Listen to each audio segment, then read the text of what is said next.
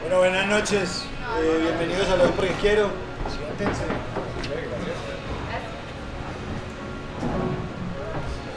Eh, como siempre, antes de darlo con la charla de hoy, invitarlos a lo que hay ya pues el próximo mes.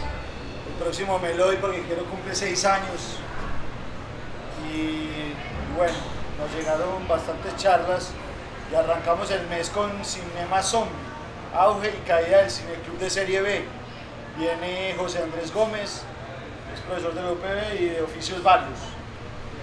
Y el día jueves van a estar de nuevo los colombiajeros, que son Dur Montoya y Luis Barreto, con viajar a campo de conocer su emprendimiento social. Eso es lo que hay el día jueves. En este momento, pues, con todo este asunto de que cerraron Tinto Tintero, les puedo decir y adelantar, la del martes será aquí en Victoria Regia y la del jueves será en La Pascasia. ¿Listo? Y bueno, sin más entonces, a ver que ya entonces, hay que pasar aquí para no, no a equivocar.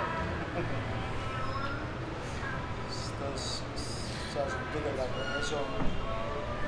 eh,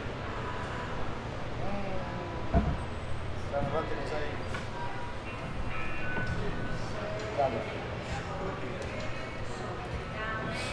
Entonces, bueno, la charla de hoy, que es con la que cerramos el mes ya de julio, eh, Andrés Vélez y Cata Quintana. Falta uno que a ustedes les toca presentar, ¿cierto? Sí, Juan Pablo Quintana. Nuestro Cata Quintana, que es abogada de emprendedores y emprendedor- emprendedora y viajera, eh, abogada de emprendedores, emprendedora y viajera, Andrés Vélez, que es contador público para emprendedores, administrador, melómano y amante de los deportes. Y bueno, Soy Juan Pablo, yo soy publicista y administrador viajar, que no ahí lo lanzamos con creativos, abogados y contadores compartiendo un mismo lenguaje. Muchas gracias y un aplauso para ustedes. Además, pues, bien y gracias por estar acá. Eh, les vamos a, lo que les vamos a contar hoy es, si quieren se acercan un poquito más, pues, está como, es algo, como tres puntos de los abogados, los contadores y los creativos, que nosotros hemos, hemos decidido mezclar y hemos tratado de buscar un lenguaje. Y la razón de, de juntar abogados y contadores con creativos parte de un proyecto que tenemos nosotros que se llama Link Casey, que es una oficina de asesoría legal y contable para emprendedores. Ya llevamos como dos años eh, con, el, el, el emprendimiento. Um, y el rollo arranca pues, porque nosotros, obviamente al hacer este, este emprendimiento de asesoría legal y contable, pues es algo que a nosotros nos, nos, gusta, pues el mundo nuestro. Eh, pero por el otro lado de los creativos, es, pues tiene varias razones. Una es porque Andrés eh, venía trabajando y viene trabajando en un tema de economía creativa, con un proyecto que naranja. Eh, ¿Desde hace cuánto estuviste trabajando en eso? Llevo como año y medio trabajando, como tratando de buscar la sostenibilidad a, las empresas creativas y culturales. También conocí a Andrés en ese momento. Y, y nada, aprendí un montón de cosas, un montón de dinámicas, de, un montón de culturales y creativos que ni idea. Y ya después como que lo junté con, con ese tema linkage, pues el tema contable más específicamente. Y por otro lado, pues yo soy publicista, eh, estoy, soy también administrador de empresas, pero pues igual hice la carrera de publicidad. Entonces tengo eso pues como el diseño y la creatividad pues como muy dentro de mí y trabajé pues en agencias de publicidad muchos años, entonces como que tengo la parte creativa muy metida. Eh, y por otro lado es que cuando montamos el emprendimiento, pues uno de los públicos que encontramos con los que empezamos a trabajar son emprendedores creativos, son los mismos creativos. Entonces, eh, eso nos llevó a tratar de juntarlo y ya les vamos a juntar pues como cómo fue la manera en que lo empezamos a juntar. El rollo es que son mundos súper, súper diferentes. Pues los abogados con los contadores, con los creativos, son como que nada que ver, ¿cierto? De hecho, pues estaba haciendo un ejercicio que era tratar de, de, de, de, mostrar cómo los abogados y los contadores son diferentes de los creativos y me puse a, a teclear abogado en Google buscando las imágenes. Y claro, las imágenes que salen pues, es lo que como es un abogado, ¿cierto? Que es encorbatado, serio, estructurado, que tiene por detrás todos los libros, con todas las leyes, es, es muy limitado, es rígido con sus esquemas mentales. Lo mismo le pasa a los contadores, son números, son esquemas, eh, como que todo es muy, muy limitado, no les gustan los riesgos, no se salen de lo que ya existe, o sea, la ley se la dan y ahí están, y eso es lo que tienen que hacer ellos. Entonces son como, tienen una forma de ser que es muy estructurada y muy seria, y, y solamente están los números, y no les gustan los colores, contrario a lo que es un creativo. Todo el, polo opuesto es totalmente lleno de colores, las ideas le vienen en cualquier momento, le llegan de cualquier forma, pues inclusive eh, hay quien los puede ver como desorganizados, como que son muy volados. Entonces son dos mundos que, que esos dos mundos son muy, muy opuestos, demasiado opuestos. Pero nosotros lo que empezamos a ver y lo que quisimos eh, tomar para nosotros es cómo hacemos para hallar un punto en común entre los dos. Porque nosotros siendo un, emprendimiento de asesorar legalmente y contablemente, queremos llegar a los creativos y queremos hablar en esos términos y queremos poder conectarnos con, los creativos. De hecho, pues a mí que soy publicista, muchas cosas legales y contables, pues también como que no, encuentro el punto en común. Entonces nosotros lo que dijimos en, en un principio, desde que empezamos, fue empecemos a construir ese camino en común. Porque como son emprendedores, un emprendedor que sea creativo y no conozca la parte legal o contable simplemente porque su cerebro está súper concentrado en lo creativo, posiblemente no le, vaya, no le funcione bien ese emprendimiento. Que es lo que nos, lo que nos pasaba.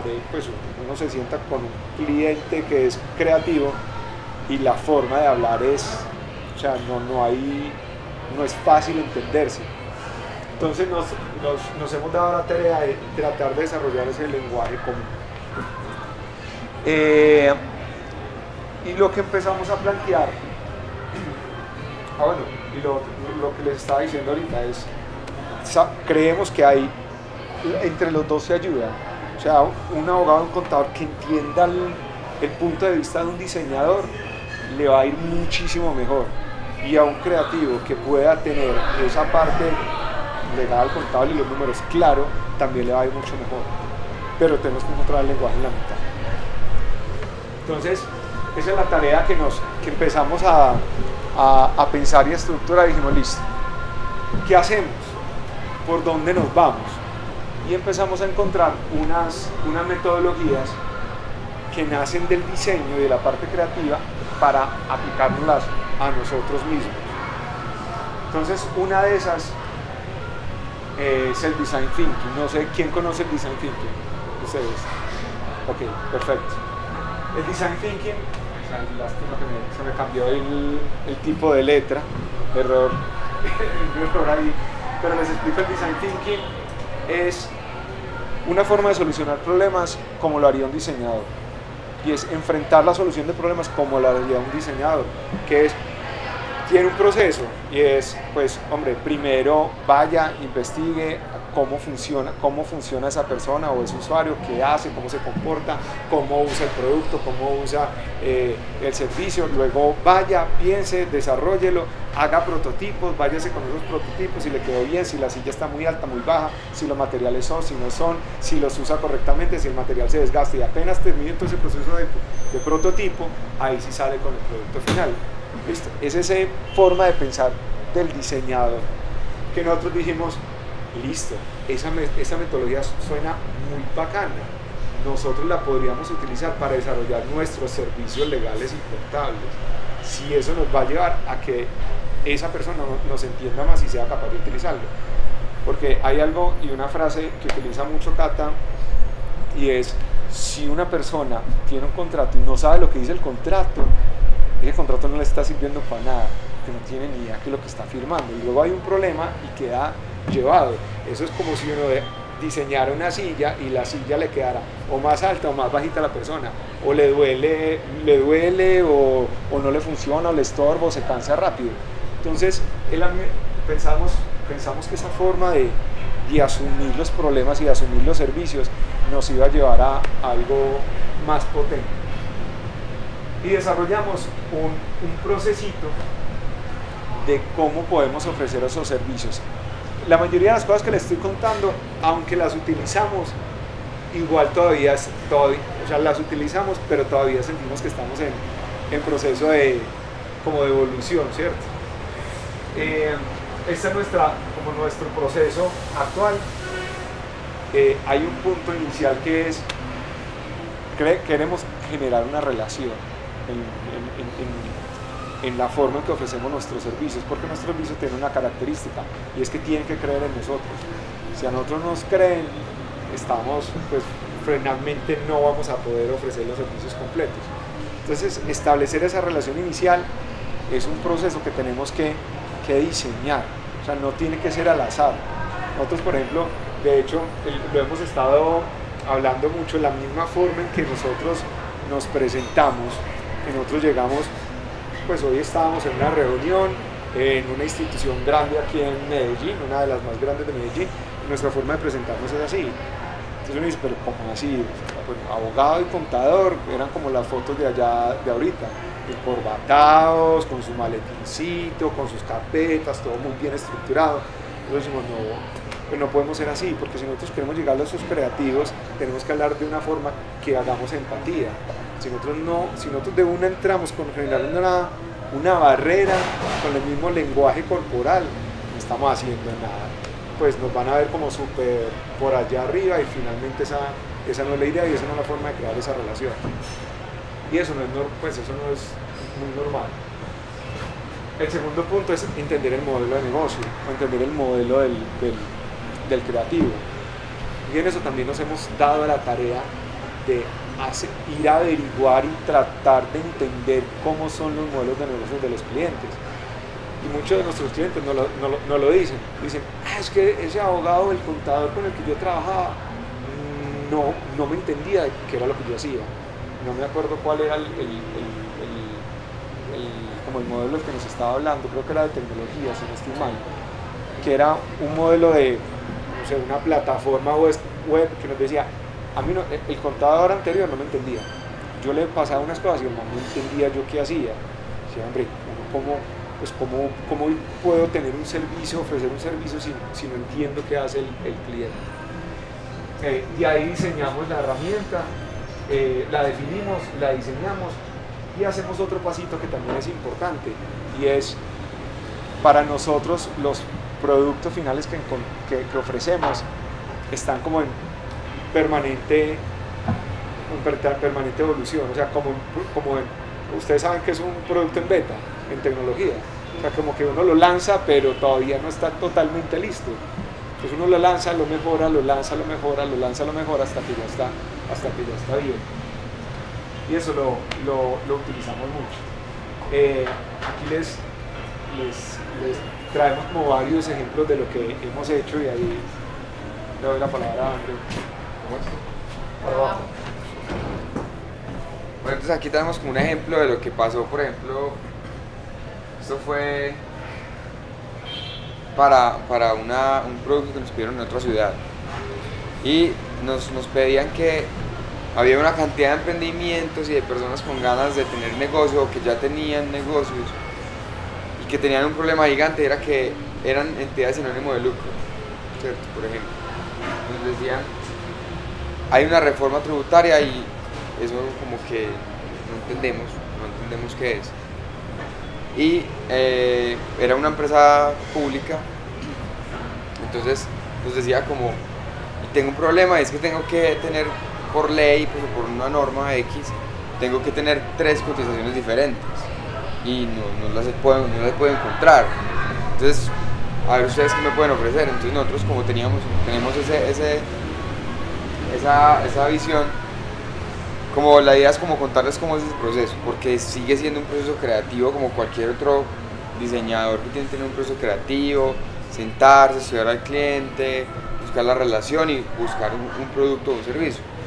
Y realmente fue eso, entonces imagínate, eh, el equipo somos como dos contadores, dos que también somos administradores, dos abogadas y Juan Pablo pues que es como publicista Y Juan Pablo. y, y el, y el man que no entendía. Entonces, el proceso creativo se vuelve todo el tiempo, pues todo el tiempo no, siempre cambia, pero siempre tiene como una, una cosa que está ahí metida todo el tiempo. Y es que lo hacemos que nos sentamos a estudiar y después nos sentamos a explicarle a Juan Pablo para que él entienda, ¿cierto? O lo hacemos con otros, otro tipo de personas, también creativos, amigos. Vení, te voy a explicar qué dice la reforma tributaria de cómo cambió el IVA. Entonces, claro, la primera pregunta es, yo no sé qué es el IVA, ni siquiera. ¿cierto? Entonces, como que volver a coger todo eso. Entonces, por ejemplo, este de acá.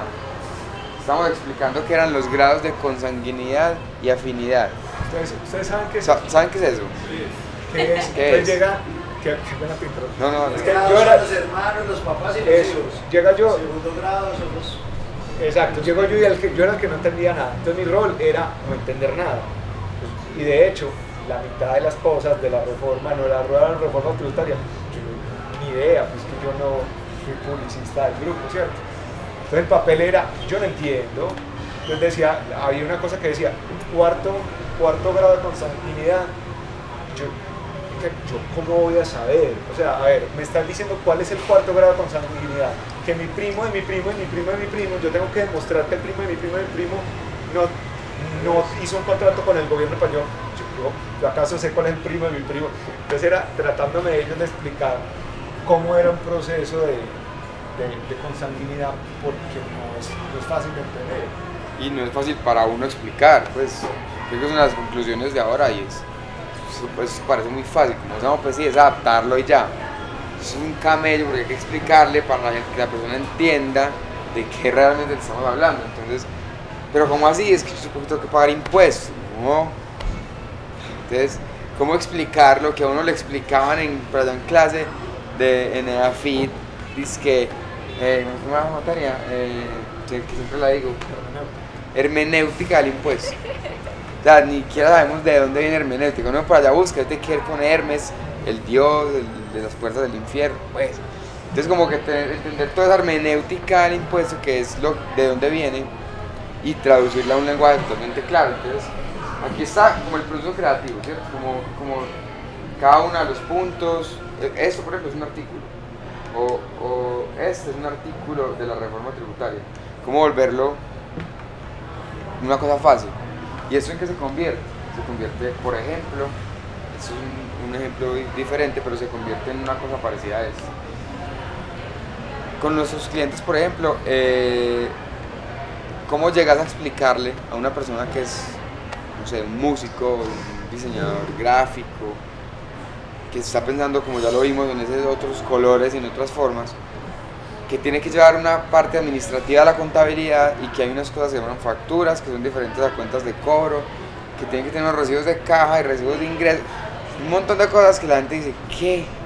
Son los mismos papeles, todo me lo pide la DIAN, eso cómo funciona, entonces claro, ah, llegamos, hicimos todo esto y nos fuimos con eso documentado en, en, en prosa pues al principio, nos íbamos con los clientes y arrancamos, bueno, es muy fácil, usted vende y bla bla bla bla. ¿Entendiste? Sí, súper bien, súper claro, ah, bueno, listo. A las, eso a las 9 de la mañana y a las 3 de la tarde, hola, ven, ¿cómo es que sacó el IVA? Entonces nosotros decimos, no, hay algo malo y no es él, somos nosotros. Hay algo malo en nosotros, en ese proceso creativo de buscar eso, como que él lo entienda, porque no me puede llamar a preguntarme eso. Pues no es que no pueda, pero se los expliqué durante tres horas en la mañana.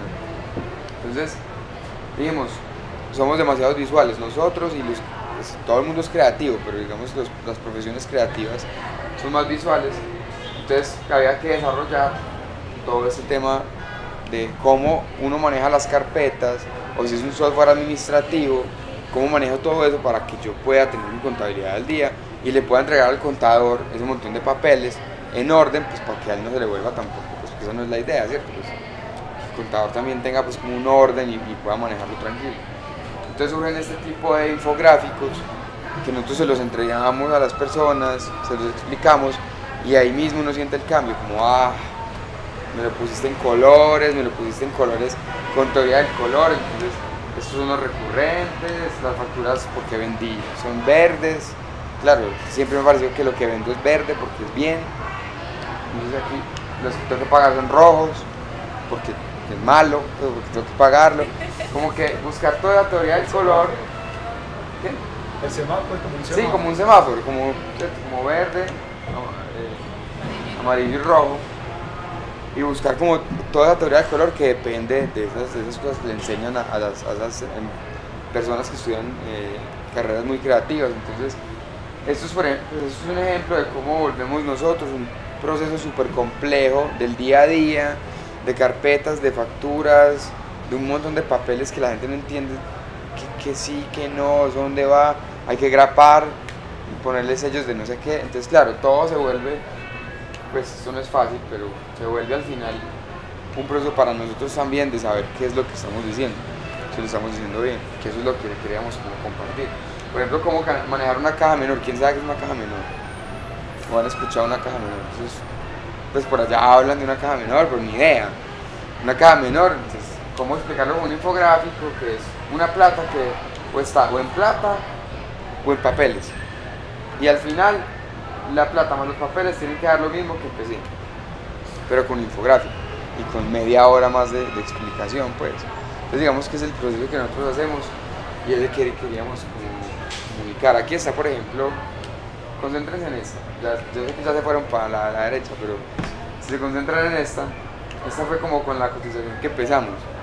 ¿cierto? Sí, había, digamos, una diagramación diferente a una cotización cualquiera, eh, tenía unos colores, servía, la gente igual nos, buscaba, pero de un momento a otro dijimos no, o sea, tenemos que seguir cambiando todo el tiempo y esta hace parte de una cotización de nosotros para un servicio contable, para la gestión contable mensual. Entonces, claro, te, ponen, te ponemos unos, unas barras donde entender en colores, pues si se han dado cuenta por, la, por esta parte azul, utilizamos unos colores más pasteles, como más fáciles de digerir. Y bueno, así ha sido todo, entonces, cómo hablarte de qué es una retención, de qué es un IVA, de que hay que enviarlo a la DIAN, unas declaraciones que el contador las hace, pero que estén como mucho más fáciles de digerir, que estén en este, en este lenguaje, y este es otro ejemplo. Igualmente, esto no fue de la noche a la mañana, pues esto fue un proceso creativo a base de design thinking, sobre todo, y, pues eso era lo que queríamos mostrar como, por, como el ejemplo. Todo esto, llevamos dos años y ha sido pues como una, como una transición. Entonces, hemos aprendido infinito de cómo ustedes, que imagino que están acá es porque hacen parte de eso, eh, entienden el mundo. Y cómo todo esto, que es como nosotros lo entendemos, que es letras y números, pasarlo a otra, a otra forma de hablar. Listo. Esa es una, es una forma de hacerlo. Igual es un proceso en construcción, lo que les estaba contando ahorita. Con seguridad habrá forma de mejorar. ¿Quién de ustedes son diseñadores o algo así? Algo. Con seguridad ven eso y dicen, ahí se le puede mejorar mucha cosa. Con seguridad sí. Pero nosotros, el, proceso siempre, siempre que hacemos para las mejoras es, si le hace la vida más fácil al que nos está escuchando, bien pero si le hace la vida más fácil. Si no le hace la vida más fácil, pase derecho. Y eso nos ha, pues, como les digo, todavía es un proceso en construcción. pues. La segunda meto- metodología que utilizamos es Plain Language. ¿Alguien la conoce? ¿Alguien conoce esa, eso? Listo. Les, el, el cuento del lenguaje sencillo, por así decirlo, es comenzó hace ya bastantes años en Estados Unidos y era una tendencia a coger lo que hace el gobierno federal, toda la comunicación que tiene el gobierno federal de Estados Unidos para convertirla más fácil que todo el mundo lo pudiera entender. Eh, y se basa pues como en unos principios de lenguaje que son eh, haga, haga la comunicación directa, eh, hágalo simple, que lo pueda entender un niño que lo pueda entender alguien que no tenga un- una, una educación sofisticada, pero cojamos toda la comunicación y volver, volvámosela sencilla. El, gobierno de Estados Unidos decía, nosotros como gobiernos tenemos esa responsabilidad de entregarle la información hacia los ciudadanos.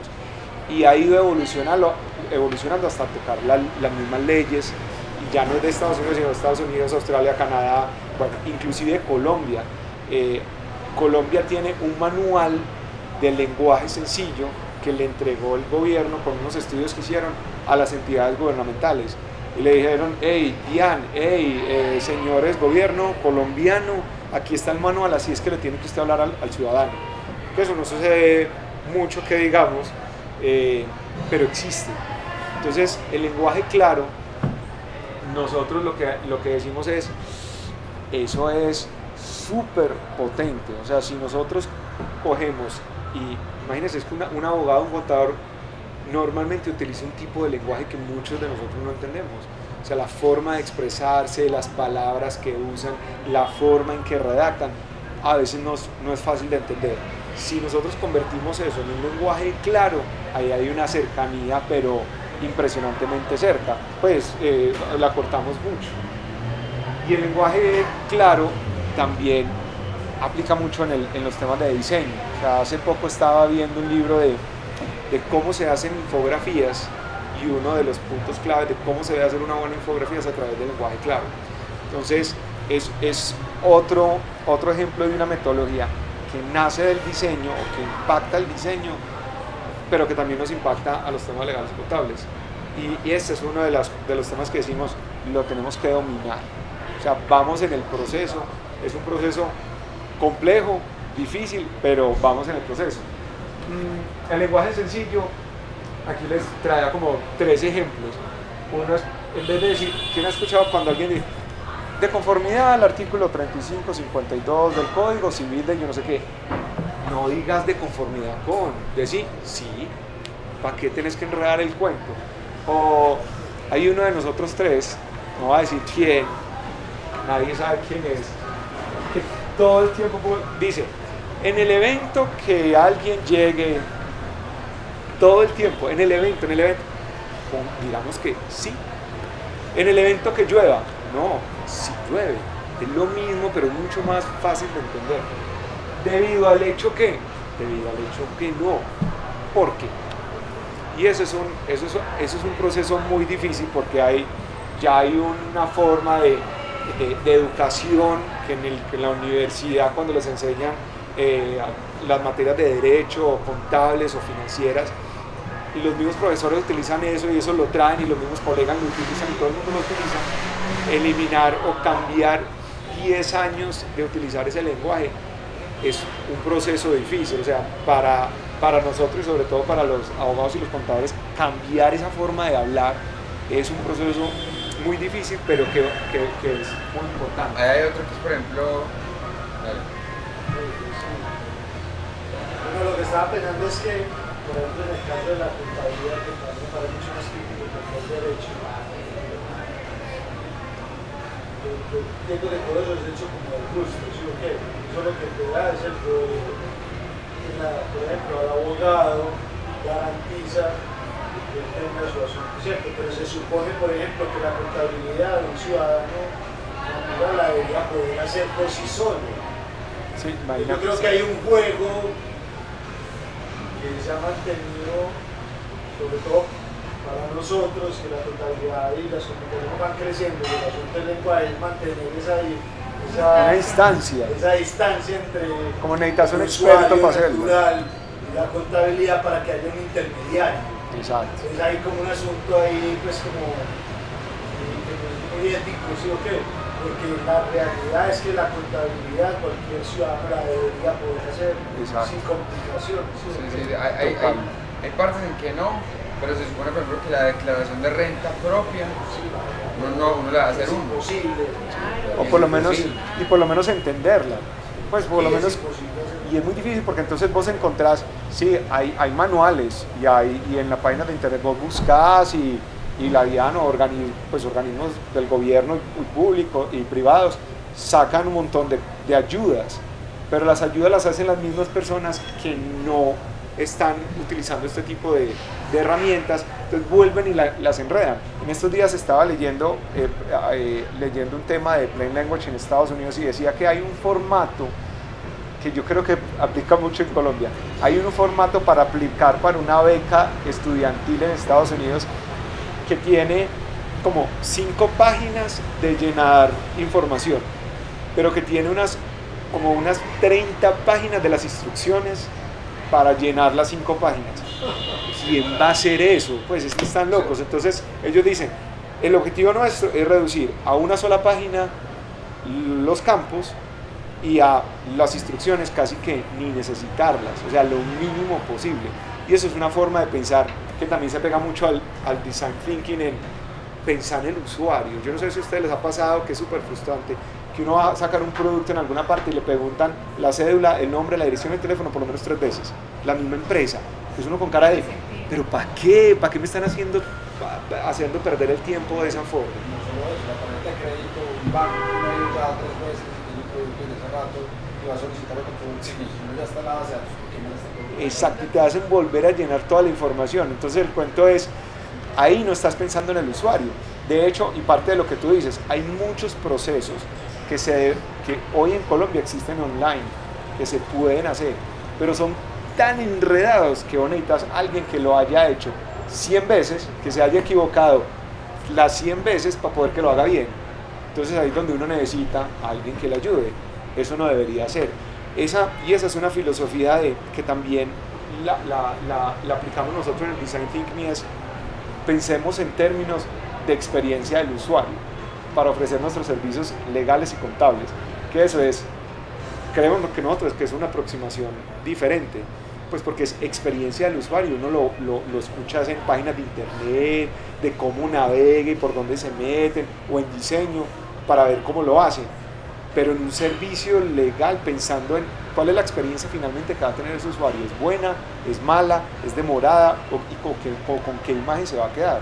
Eso cambia toda la perspectiva de qué es lo que nosotros tenemos que hacer. No, pero muy bacano porque es como, es como volver al inicio también de las Sí. carreras, porque es como, o sea, se tiraron en las mismas carreras, pues volviéndolo, hago muchas, es que si yo complico esto, yo soy el intermediario, yo tengo una caja fija, pero claro, todos los asuntos de contaduría, todos los asuntos de derecho tienen unos matices de mejoras y de ayudas y de, que son, que son mucho más aprovechables más Exacto. que ser un, a la Un- final un intermediario. un intermediario porque sí. Menospreciar la carrera y todo, pues. Sí, Sí, claro, total. hay una gama ¿Qué operativa hacer, ahí. pues, del, del contador o del abogado?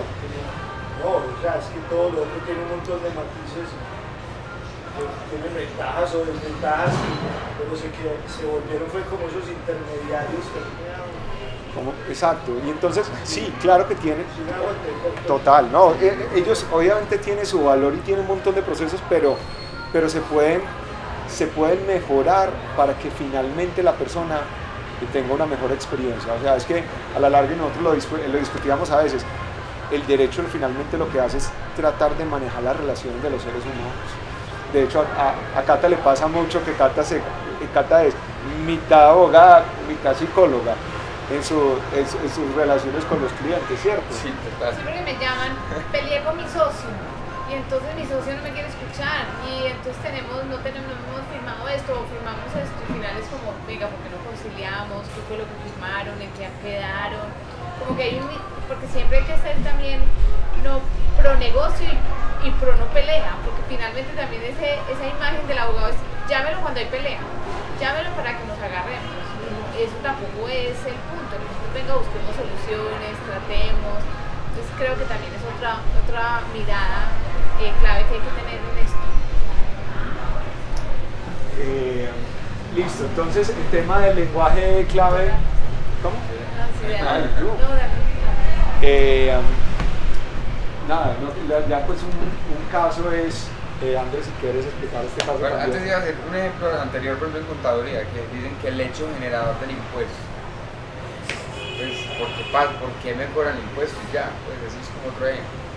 Nada, este fue otro ejemplo que, que Hola, hicimos. o una que molestaba mucho, que yo molesto mucho, pero es bacata, que es, eh, un contrato se configura.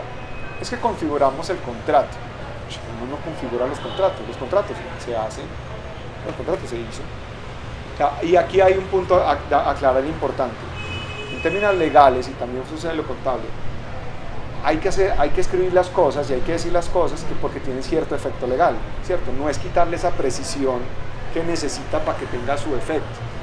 Eh, porque si, si, un abogado por allá puede decir, pero ¿cómo así? Usted no puede simplificar todo porque es que o si no, eso luego llega donde un juez y el juez entonces no sabe qué tiene que hacer. No, obviamente tiene que tener su efecto legal, pero se puede limpiar mucho, se puede limpiar mucho. Entonces ahí es donde hemos hecho un esfuerzo muy grande en, tratar de cambiar ese lenguaje para que no sea tan complejo como, como porque, Y resumiendo eso, es lo complejo no le da más legalidad es decir, lo simple no le quita la legalidad. Pues al revés, si está simple para un juez va a ser más fácil resolver el conflicto cuando es tan claro y tan, tan claro pues lo que está escrito y lo que está pactado. Sí, eso llama que tiene más sentido el fondo que la forma. Eso. Entonces, bueno, eh, este es otro ejemplo que hicimos eh, para, para, eh, para Manizales, esa empresa que nos contrató y era como cómo explicarles en otra forma, antes del proceso creativo, en qué quedó todo ese papel que ustedes vieron. Y era que quedó en cómo buscar lenguajes de músicos, de fotógrafos, de personas que hacen películas, de, pintores, hasta gente que hace libros, escribe libros. Buscamos como los lenguajes que se usaban, qué significaban y los pusimos en temas de impuestos y de, y de derecho por ejemplo, el de allá dice la composición de tu emprendimiento y detrás está un pentagrama con, toda la, la, escritura, ¿sí Entonces nos encontramos que, bueno, obviamente pues, sabíamos y nos tocó pues, también buscar un poco, era que las canciones tienen una composición, por muy locas, por muy, rock que suene, que parece una batería, todo tiene una composición, tiene una métrica, ¿cierto? Como todo ese tipo de cosas, la bajamos a decir, usted tiene que componerse de alguna forma. Ese era por ejemplo el tema legal. O buscar analogías que fueran fáciles de entender que el IVA, un, impuesto tan raro, se volviera que el IVA era el moño de un regalo, porque las mamás siempre que van a dar un regalo un moño todo grande y, nunca importa eso lo rompe y ya. Pero entender que la función que cumple el moño en el regalo es importante. Es como que las analogías todo, todo así en términos de retenciones de, renta, de renta, de IVA, de cómo constituirse como empresa con ánimo de lucro, sin ánimo de lucro. O sea, como en lo que quedó ese ejemplo de Manizales que fue súper enriquecedor, tanto, tanto que eran como 30 personas, más o menos unas 12, 13 empresas, y eran 8 horas con almuerzo libre, o sea, tuvieron la capacidad o la voluntad de irse en el almuerzo y decir, no más, llevamos cuatro horas encerrados, y volvieron todos a unas mentorías ya especializadas. Todos volvieron, o sea, se mamaron ocho horas, gente que hace teatro en Manizales, se mamaron ocho horas de impuestos, entonces, como que ese tipo de cosas eh, era lo, a lo que llegábamos y era lo que nos daba satisfacción al final. Que nosotros decíamos, a las 10 de la mañana se van a ir todos. Porque es un tema muy denso. Entonces decíamos, tenemos que volverlo en un lenguaje pues, que puedan entender. Eh, este es otro ejemplo de problema. Bueno, en la, parte, en la parte legal lo que nos hemos dado cuenta es que hay unos contratos que posiblemente desde el punto de vista legal hay que explicar y hay que describir un montón de cosas como los términos y condiciones. Los términos y condiciones es un documento que nadie lee cuando uno entra en una aplicación como, este es un ejemplo de la de Pinterest, eh, en donde hay que establecer bien cuál es la responsabilidad del usuario y todo esto. Pero es muy chévere si a uno esos párrafos tan complejos y, tan estructurados se los resumieran a uno en dos palabras y le dijeran específicamente qué es lo que significa. Como este ejemplo que es, estos son los términos y condiciones donde usted tiene que acceder todo esto y al final le dice, para más simple, estos son los términos nuestros de nuestra compañía y listo. Entonces creemos mucho en esto porque finalmente si fueran así de fáciles todo el mundo entraría, miraría cuáles eran las condiciones de usar esa, esa aplicación, si hay una ventaja o desventaja sería mucho más fácil de, de leer. Hoy todos somos, como nos da pereza y son tan enredados nadie entiende, todo el mundo pone chulito y nadie, nadie es muy consciente que la aplicación que estás usando, si te llega a pasar algo, si te llegan a robar cualquier cosa, nadie ni se entera, después es que uno es como que rabia, yo por qué acepté esto, entonces pensamos que esto también tiene muchas ventajas de transparencia, que, hayan como relaciones un poquito más, más claras y que sea más como sí, transparente los negocios, así Y esto, y esto, eh, esto de poner las cosas más sencillas en un lenguaje más sencillo es tanto en los productos que ofrecemos como en la misma asesoría, que no es fácil, o sea, sentarse a explicarlo, a veces uno se puede enredar o eh, si, uno no lo, si uno no lo explica como un lenguaje sencillo. Ese es, esta es un ejemplo de una página, de, de, la página nuestra. Que lo que hicimos con esta página es, primero es, ahí no van a encontrar, según el artículo 35 de la ley en la dice que habiese dado el caso, pues que es el tipo de lenguaje legal. Nosotros lo que siempre hemos intentado y en todas las comunicaciones que hacemos lo, lo ponemos es, ponga lenguaje sencillo, que cualquiera pueda entender. Si hay una palabra que es medio rara, hay que definirla, porque puede que, que alguien, no, alguien, no, la entienda. Y en, en, nuestros talleres, nosotros hacemos muchos talleres gratis y charlas gratis como para, para, precisamente para que la comunicación sea más fácil y hacemos la misma. Siempre decimos al principio, si hay una palabra que no nos entiendan, nos interrumpe, porque en estos temas legales es muy fácil que uno diga cosas y la gente no entiende y todo el mundo me queda callado. Yo no, sigo derecho. Y si no entienden, pues vale la gracia de todo el, de todo el cuento. Ven, yo quiero decir algo ahí, es, yo creo que estamos como acostumbrados que más enredado, que era un poquito lo que vos decías, más enredadas las cosas, entonces como que nadie mejor que no sepa para, para que lo, la persona intermediaria pueda lograr siempre estar ahí. Y yo creo que hoy en el, en el tiempo en que estamos, que hay tanta información, muchas veces dar esa información enredada tampoco ayuda. Entonces por eso también tratamos de que siempre esa información legal y contable sea lo más simple posible, porque eso no, eso al revés, va a ayudar a que todos entendamos y sean más fáciles las cosas. Esa no es la profesión. Claro. Esa no es la profesión. O sea, la profesión no es ser intermediario. Exacto, exacto, no es el. Lo que para mí se ha vuelto, pues, no es. No debería ser. Intermediario, si esa no es la profesión. Sí, como, como tramitador. Es más de apoyo y cosas ya más, más profundas. Bueno, esto es lo básico, pues, pero eso trae un montón de cosas. Claro, exacto. Claro. Más Entonces, intermediario, necesita Un análisis. que lo acompañe, pues, y yo orientazo, orientazo, no no solo por un Millones y de mira, cosas. y mira que lo que nosotros nos hemos dado cuenta es que para emprender, como vos sos todero cuando vos emprendés, a uno le toca hacer, pues hay que como que saber de todo un poquito. Y ahí donde en estos temas el emprendedor coge y ¡pum! Y a veces se pega muy duro. Hay unos que sí bien, eh, saben de todo, pero hay otros que llegan a este punto y a- hacen la, toman las decisiones que no es, cuando es como, "Sí, pero eso no debería ser tan, tan difícil, o por lo menos debería haber tenido a alguien que le diga, un régimen simplificado y meterse en una salsa empresarial. por ejemplo, por ejemplo, o.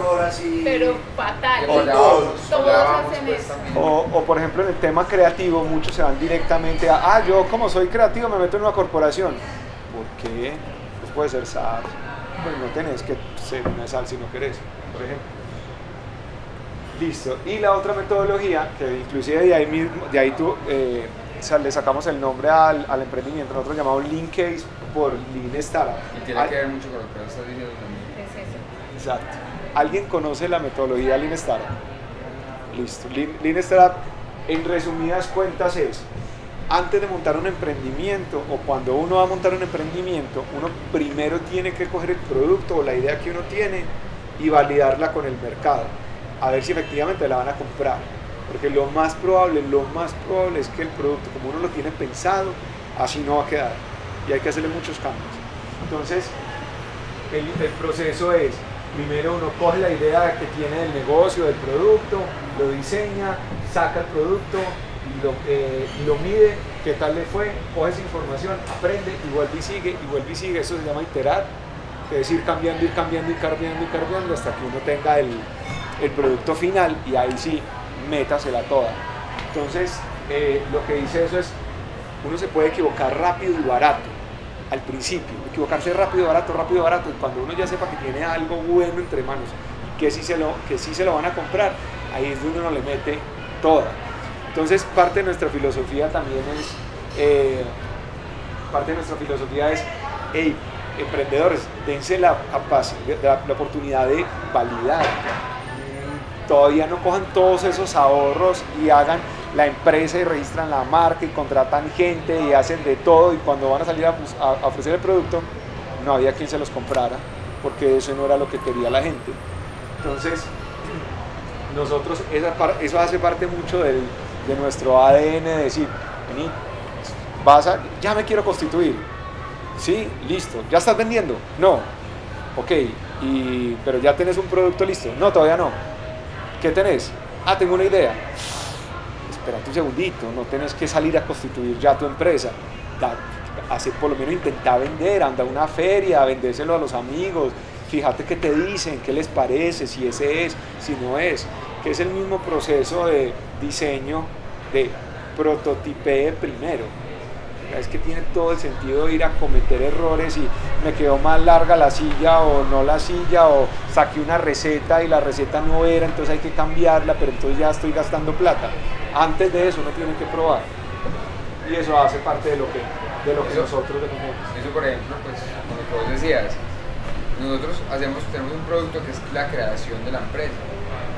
Y a veces no lo hacemos por vender y ya, sino si no estás vendiendo la cantidad suficiente como para que te tengas que volver una empresa, todavía lo puedes como régimen simplificado, no lo hagas, porque eso es un riesgo legal ahí y tributario. Entonces, y es desde nosotros mismos hacemos esa, esa, pues, esa, eh, esa, invitación, pues, sí. entonces como, hey, y nos pasa mucho, y no, importa, conocemos la gente, y la gente después, nos pasó ayer, no te conté, al final estábamos con una, con una persona y al final me dijo, hey, ¿sabes qué? Lo que más me gustó de todo es que tenían esa visión. Que no me dijeron, no, sí, ya. No, pues como que me dijeron que yo podía seguir como persona antes de, y eso, y eso conecta mucho. Y al final la idea es pues, es, tener una como oportunidad. Listo, y finalmente el cuento es, nosotros creemos que esta aproximación que tenemos a juntar los dos mundos que, pues, que son muy diferentes y que nosotros queremos juntarlos para que efectivamente puedan funcionar juntos. Sabemos que es un reto supremamente grande y pues todos los días nos enfrentamos a, muchos retos, eh, pero es un reto que nosotros creemos que vale la pena muchísimo seguir profundizando y seguir creciendo y, seguir desarrollando. Entonces nada, esa era la, la idea y lo que queríamos compartirles hoy. Muchas gracias. ¿Alguna pregunta, algún comentario? Nada, ninguna.